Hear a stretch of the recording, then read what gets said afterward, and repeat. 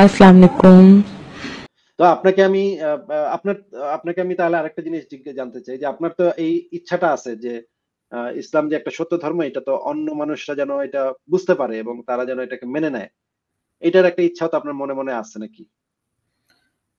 জি এটা থাকাটা স্বাভাবিক আছে হ্যাঁ এক কথা আচ্ছা তাহলে আমি আপনাকে তাহলে আমি আপনাকে একটা বিয়া দিচ্ছি যে দেখেন আপনি কিন্তু আজকে এই জিনিসটা একটু প্রমাণ করতে পারেন আমাদেরকে। যেমন ধরেন আপনাকে যদি আমি বলি যে ভাই একটু আমি আমার এই পয়েন্টটা পয়েন্টটা একটু শেষ করি। আপনি তো আপনার পয়েন্টটা ফিনিশ করছেন। এবার আমার পয়েন্ট একটু শেষ করতে দেন। এই হাদিসটাতে কি বলা আছে যদি একটু পড়ে শোনাইতেন ভাই? এই হাদিসে বলা আছে হাদিস হচ্ছে সুনানি ইবনে মাজাহ জানাজা অধ্যায় তাওহীদ পাবলিকেশন ওকে নবী সাল্লাল্লাহু আলাইহি ইন্তিকাল ও দাফন কাফন। আউস ইবনে আউস রাদিয়াল্লাহু তাআলা থেকে বর্ণিত তিনি বলেন রাসূলুল্লাহ সাল্লাল্লাহু আলাইহি সাল্লাম বলেছেন তোমাদের দিনগুলোর মধ্যে জুমার দিন সর্বোত্তম। এই দিনই আদম আলাইহিস শেষ শেষ লাইন শেষ দুটো লাইন পড়লেই হবে। এক ব্যক্তি বলল হে আল্লাহ রাসূল এখান থেকে পড়লেই হবে। আচ্ছা তিনি বললেন ওখান থেকে? এক ব্যক্তি বলল হে আল্লাহ রাসূল আমাদের আচ্ছা, এক ব্যক্তি বলল হে আল্লাহ রসুল আমাদের দুরুদ আপনার নিকট কীভাবে পেশ করা হবে? অথচ আপনি তো মাটির সাথে মিশে যাবেন। তিনি বললেন আল্লাহ তাআলা নবী সাল্লাল্লাহু সাল্লামগণের আহ, দেহ বক্ষণ জমিনের জন্য হারাম করে দিয়েছেন। আচ্ছা। আচ্ছা আচ্ছা তার মানে আমরা জানতে পারলাম এই হাদিস থেকে নবী বলেছেন যে নবী রাসূলের শরীর কখনো মাটিতে ইয়া হবে না তাই না ভাই? জি মানে বসবে না। নষ্ট হবে না। বুঝবে না নষ্ট হবে না। তাইলে আচ্ছা ঠিক আছে আমরা এটা হুজুরদের মুখ থেকে শুনে নিব। আপনি আমাকে একটু বলেন তো মানে নবী রাসূলের সংখ্যা কিছু কিছু আলেমের মতে এক লক্ষ চব্বিশ হাজার আর কিছু কিছু আলেমের মতে দুই লক্ষ চব্বিশ হাজার নাকি ভাই? জি। আচ্ছা তাহলে ধরে নিলাম কমেরটাই ধরে নিলাম এক লক্ষ চব্বিশ হাজার। নবী রাসূল পৃথিবীতে আসছিলেন তাদের বডি তো এখন পর্যন্ত পচে নাই তাই না ভাই? আচ্ছা আমরা এই ভিডিও আমরা একটু আলেমদের মুখ থেকে শুনে নিই যে ওনারা কি বলেন এই বিষয়ে শুনি শুনেন। হচ্ছে সাধারণ মানুষের দেহ মাটি খেয়ে ফেলে কিন্তু নবী রাসূলদের দেহ মাটি খায় না। আল্লাহ আল্লাহ রাসূল সাল্লাল্লাহু আলাইহি বলেন যে ইন্নাল্লাহ হাররামা আলাল আরদি আন তাকুলা আজসাদাল আনবিয়া। আল্লাহ রাব্বুল আলামিন জমিনের জন্য হারাম করে দিয়েছেন। নবীদের দেহ এই মাটি জমিন খেতে পারবে না। তাহলে কি আমরা বলব যেহেতু তার দেহ নষ্ট হয়নি তাই তাহলে তিনি জীবিত? বলতে পারব না। কেন বলতে পারব না? এটি হলো তার জন্য বিশেষ বৈশিষ্ট্য বিশেষ সম্মানের বিষয়। আচ্ছা আরেকটা ভিডিও একটু দেখে নিই শর্ট ভিডিও দেখেন। সাহাবারা বললেন ইয়া রাসূলুল্লাহ কাইফা সালাতুনা মা'রুদাতুন আলাইক? আপনি মরে যাওয়ার পরে আমাদের দুরুদ কেমন করে আপনি দেখবেন? ওয়াকাদ আরিমতা আপনি তো পচে গলে মাটির সাথে মিশে যাবেন। বিশ্বনবী বলেন, ইন্নাল্লাহা হাররামা আলাল আরদি আন তাকুলা আজসাদাল আম্বিয়া। নবীদের লাশকে খেয়ে ফেলা, নবীদের লাশকে পচিয়ে ফেলা, জমিনের সব মাটির জন্য আল্লাহ হারাম করে দিয়েছে। নবীদের লাশ পচে না, নবীদের লাশ গলে না। আচ্ছা এখান থেকে আমরা জানতে পারলাম যে নবীদের আজ পচবে না, গলবে না, একদম অক্ষত থাকবে। তাহলে এক লক্ষ, প্রায় শো এক লক্ষ লাশ মানে এখন পর্যন্ত পৃথিবীর মাটিতে থাকার কথা কিন্তু প্রত্নতত্ত্ববিদরা তো অনেক খোরাখুরি করে মাটি অনেক খোরাখুরি করতেছে বিভিন্ন দেশের বিভিন্ন অঞ্চলের মাটি খোরাখুরি করে বিভিন্ন ফসিল টসিল বাইর করতেছে।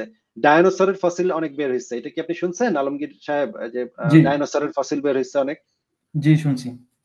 ডায়নোসর বা পুরোনো কালের যে মানে ইয়াগুলো আছে প্রাণীগুলো আছে যেমন একটা প্রাণী হচ্ছে ম্যামথ এটা হচ্ছে হাতির আদি পুরুষ হ্যাঁ সেটা বিরাট মানে সাইজের হাতি। তারপর টিরেক্স টিরেক্স এর মানে ইয়া ফসিল পাওয়া গেছে। অনেক শত শত মিউজিয়ামগুলা ভর্তি।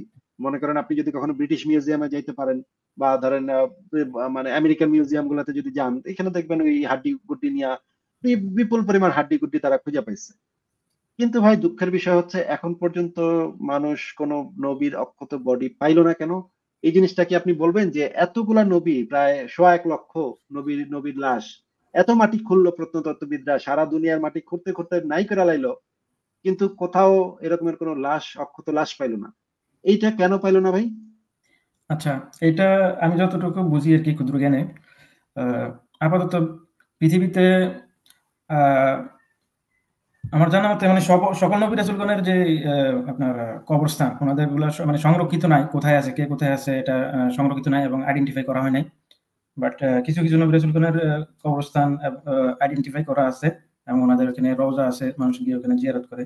তো আমার মনে হয় আহ, বাকিদেরগুলো যেহেতু আইডেন্টিফাই করা নাই তো যেগুলো আইডেন্টিফাই করা আছে কিন্তু যেগুলো আইডেন্টিফাই করা নাই মাটি তো অনেক খুঁড়ছে। প্রত্নতত্ত্ববিদরা তো সারা পৃথিবীর মাটি খুঁড়া একাকার করছে। ওই যে পুরোনো দিনের সভ্যতা খোঁজার জন্য শত শত বছর ধরে প্রত্নতত্ত্ববিদরা বিভিন্ন অঞ্চলে মাটি খোঁড়াখুড়ি তো চলতেই আছে, এখনও চলতেছে। কোনো, অনেক দেশে এখনও মাটি খোঁড়াখুড়ি কইরা মিশরের পুরোনো দিনের জিনিসপত্র মানে রাজা বাচ্চাদের জিনিসপত্র, তারপর হচ্ছে গিয়ে পুরোনো মূর্তি টুর্তি, এগুলো হাজার হাজার হাজার হাজার বাংলাদেশে এগুলো চলতেছে। আপনি যদি জানেন যে বাংলাদেশে রংপুরে, যদি আপনার রংপুরে একটা ইয়া জায়গা আছে, তারপরে ঢাকার পাশেই কয়েকটা জায়গা আছে, সেখানে অনেক কিছু ঘোরাঘুরি হয়েছে তো অনেক এত খোরাখুরি হইল একটা দুইটা নবীর তো মানে লাশ টাশ পাওয়ানোর কথা। একটারও এতগুলা নবীর প্রায় সোয়া এক লাখ বা সোয়া দুই লাখ একটা নবীর লাশ পর্যন্ত পাওয়া যাবে না এটা কেমন কথা ভাই?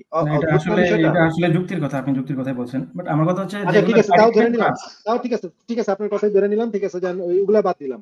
আপনারা তো ভাই নবী মোহাম্মদের লাশ কই আছে এটা তো আপনারা জানেন। তাহলে এটা একটু বাইর করে আমাদেরকে দেখা দেন আমরা একটু ইমানের পথে ফেরত আসি। যেমন ধরেন আমরা তো সবাই মানে মনে করেন যুক্তি তুক্তি নিয়ে চিন্তা ভাবনা করতে করতে আমরা জাহান্নামে চলে যাচ্ছি তাই না? শয়তানের আশ্রয় আছে সাথে আমরা জাহান্নামে চলে যাচ্ছি। উচিত না। আপনারা এত কষ্ট করতেছেন এটা আসলে হ্যাঁ এত কষ্ট করতেছি কিন্তু আমাদেরকে জাহান নামে পড়াইবো আল্লাহ পাক। এখন যদি আমাদেরকে একটু দেখাই দিতেন যে যে নবী নবী মোহাম্মদের লাশটা উঠায় যদি আমাদেরকে একবার দেখাই দিতেন। দেখ বেটা এই যে দেখ আমাদের নবীর লাশ পথে নাই। আচ্ছা তাহলে কিন্তু আমরা কিন্তু মোহাম্মদেরটা বাদ দিলাম। উনি আর বাকি যেগুলো আছে হ্যাঁ ওনাদের যে কোনো একটা করলে ঘুরে চেক করে দিতে হয়। হ্যাঁ একটা করে চেক করে আমাদেরকে দেখাই দিলেই। মানে একটা হ্যাঁ। সারা পৃথিবীর মানুষ ভাই এটা এখন এটা কি আপনারা দাবি করছেন? কেউ কি হ্যাঁ, এটা দাবি করছে? আমি দাবি করছি তো, আমি দাবি করছি। নবী মোহাম্মদের লাশটা করে আমাদেরকে একটু দেখা দেন ভাই। একবার দেখা দেন আমরা একটু আপনি অথরিটি নিয়ে যোগাযোগ করেন। ভাই আমি তো ভাই এই কথা আমি কয়েকবার বলছি আমার লাইভে কয়েকবার আলোচনা করছি আমি ভিডিও বানাইছি এখন কেমনে বলব ভাই? এটা তো এটা আমি করতে পারি।